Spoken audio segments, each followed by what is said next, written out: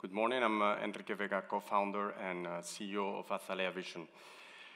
There are many patients that they are suffering from uh, different symptoms. These patients are coming from different conditions, but the symptoms are the same. Let me put you one example. Patients with iris disorders, for example, they suffer from lack of depth of field.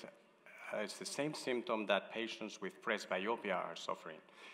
The patients also with iris disorders might suffer from uh, photophobia, which is also a common symptom suffered by patients uh, with albinism or patients with um, chronic migraine, dry eye syndrome, or traumatic brain injury.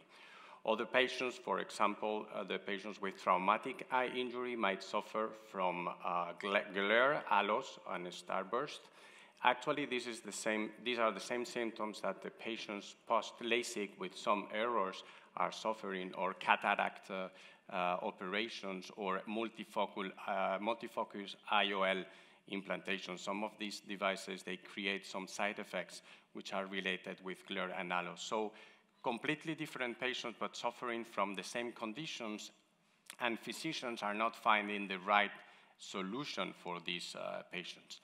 This is exactly what we are developing in Azalea Vision. We are developing an iris, a bionic iris, but it's not inside the body, it's in a contact lens. The bionic iris is actually made of nanotechnology. As you can see here in the bottom left, uh, there is an NFC antenna, some chips connected with, uh, let's say, the brain, the intelligence, a battery that will last for the whole day of operations. This is produced on a wafer level, and then is thermoformed and embedded inside a contact lens. So what we will have actually is a series of rings that we can address independently and program and customize for each patient. First, because the patient might have different needs, but also the patient will have the control to uh, change the therapy as they move from a room like this with the light in front of me or going to a, a walk in the park. We also are developing a smart case that the patient will use to charge the device during the night, clean the device because it's a contact lens, and eventually program the device. The video is not uh, rendering very good. Uh, so this, this product will be, let's say, customized by the patient as, as they move forward. Just an example of a patient with aniridia and a Zemax um, um, simulation. You see here in the left what a patient would see, with aniridia would see. These patients with aniridia are patients where the iris is not working at all. It's an extreme patient. And you see in the right what the patient would see with our platform. And actually the effect that you can see here is as you close the iris, the visual, the visual quality, let's say, will increase. So that is exactly what we will be able to do to uh, customizing this uh, iris to each uh, patient.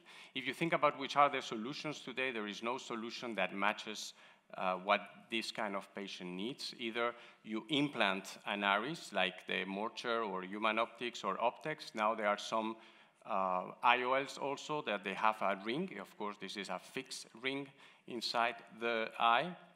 And then there is also these lenses from Johnson & Johnson Acuvue, which are a great product, but there are no iris effect. There is no rings. It's just, let's say, a sunglass that takes one to two minutes to become dark and one or two minutes to become uh, transparent. So in our case, we will not require any kind of surgery. We can command the pinhole effects. The patients will keep the control of the therapy if needed with their smartphone. And as it is a contact lens, we will be able also to correct refractive errors like myopia or astigmatism. In terms of, of uh, our roadmap of uh, patients, we will start, if I can say, with the low-hanging fruit, with the patients with aniridia, where the iris is completely dysfunctional, uh, patients also with presbyopia. We are going to develop the solution initially inside an scleral contact lens to move after to a soft contact lens.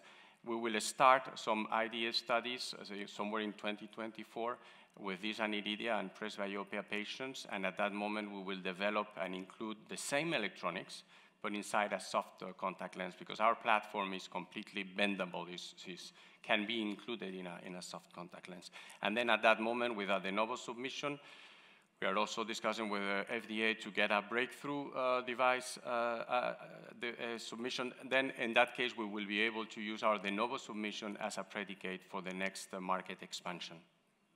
We have, we are three founders, Andres Vasquez, Peter Vermeulen, and myself. We have already very good investors like IMEC, Expand, Elias, and Sinovat. Um, and we have been collaborating with different uh, physicians and different doctors. We are a spin-off from IMEC and the University of Ghent. And we have already since July, uh, we started the company last July. We have 10 people working on the different um, specialties and a bunch of physicians and technicians that are helping us to put in place our, our company. So as a um, um, sum up, we are developing a smart bionic iris to alleviate the symptoms related with light, with light sensitivity. The total addressable market that we estimate is close to 6 billion per year. As the company was uh, incubated in IMEC and the University of Ghent for five years, there's a lot of steps already uh, the risk. Since July, we are now working on, on the development of the product and on the wafer production so that we will have reduced costs uh, since the beginning. And we have a strong IP portfolio that we, let's say, got from IMEC and Ghent, and we are developing further this, uh, this IP portfolio. The Series A, which happens last year, it uh, was a, a, 6 million from our investors. We also got 2 millions from grants uh, from uh, Belgium institutions, and we are now thinking about how to put in place the uh, clinical strategy round, which will be Series B, and it will be between 15 and 20 million. That's all I have. Thank you.